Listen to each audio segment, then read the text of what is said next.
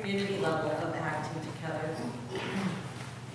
We nurture relational cultures, identifying common interests and public issues affecting our communities, so that we are ready to act together to promote justice and healing for the whole community of creation. So they invited me to talk about my experience with the community of Eco-Faith Recovery. And my pathway to this community uh, started in, when I was a pastor in Sacramento, feeling completely overwhelmed and depressed by the climate crisis, uh, isolated myself, myself not knowing uh, what to do about it. So I tried to write a sabbatical proposal to go and spend time in Portland because I saw communities up there who I thought had some, not just connection to themselves, but some wisdom that I might be able to access. Uh, the communities were Wilderness Way and Redeemer Lutheran Church, Leaven Community, and Central Lutheran Church, and I wanted to spend time with these folks. Uh, unfortunately, the sabbatical proposal was not funded, and the sabbatical didn't happen.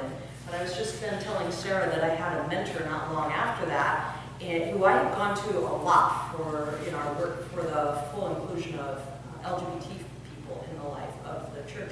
And I kept coming to him now for answers on this ecological crisis that we were facing. And finally, we were sitting down for a drink in a bar somewhere, and he said, Robyn, he says, I don't have the answer on this one. He says, I don't even see it. It is so overwhelming to me. He says, but I think you have some part of the answer. All I knew is I was still trying to get to Portland, where these cool communities were doing this cool stuff, and I felt isolated and overwhelmed, and had an opportunity to relocate there shortly thereafter.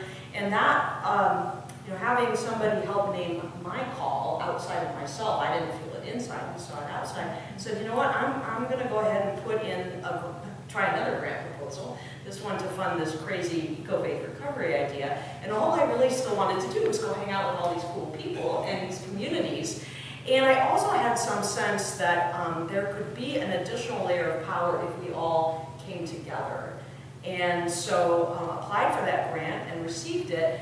And so I'm working my, actually my way, kind of down the practices, down the dimensions. So then the, the first year, year and a half after receiving that grant uh, for this crazy idea of eco-faith recovery um, from Extraordinary Lutheran Ministries, uh, is where the grant came, uh, was one-to-one -one conversations with people from these, these different communities, people who I had some connection with in Portland, and just talk about what do you see happening? What's going on? What's your interest? What is your community wisdom? Are you connected with one another? And I didn't see a, a, as much connection as seemed possible. And so what ended up happening then, which brought us to the community level, is leaders from across these communities started coming together, first in retreats, um, crying together about our lament, about what was happening, acknowledging everything our communities had been trying, and the problem, the crisis was still getting worse. So what would it mean to try to work across these communities? But in trying to work across the communities, we had to form a community as well, a, a community of leadership, growth, and development. And so we, by coming together and learning to trust one another and forming some relationships between and among some of our communities, then we started launching these initiatives together. Well, let's bring people of faith together for a table talk across these communities and, on these different issues. And so we did that. And then, so, and then somebody hatched, Dick Harmon hatched the idea for organizing in the biocommons. And uh, Beyond Fossil Fuels emerged, and Nathan came with the Eco-Faith Youth Camp, and Matthew Egan and some others uh, got co-trained by Lutherans Restoring Creation in how to equip congregations in, in um, caring for God's creation within their own ministries. And in each one of those situations, one other thing I just like to add about community is by having those relationships with one another and learning to see in each other each other's unique gifts and call, we were then ready when the next person came and said, oh, I see this initiative, this, this thing that could, we could do this thing together.